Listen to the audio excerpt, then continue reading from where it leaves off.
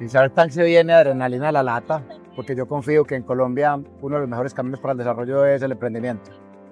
El emprendimiento nos permite crear riqueza, capturar valor y después poder hablar de distribución de riqueza. Viene la realidad colombiana, vienen negocios muy sofisticados conectados con la inteligencia artificial y otros que son representativos del comercio colombiano.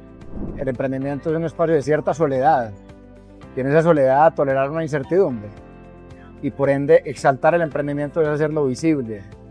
Y en estas seis temporadas empieza a notar sin duda alguna que Colombia en todo su ecosistema emprendedor ha venido evolucionando, sofisticándose, profesionalizándose. Yo tengo como una mezcla de ser empático y exigente. Yo creo que no son mutuamente excluyentes. Eh, arranco pues por valorar que para un emprendedor o emprendedora pararse enfrente de toda una audiencia a revelar sus sueños, que es lo más fácil, pero a también mostrar sus miedos, exige de tener valentía y coraje.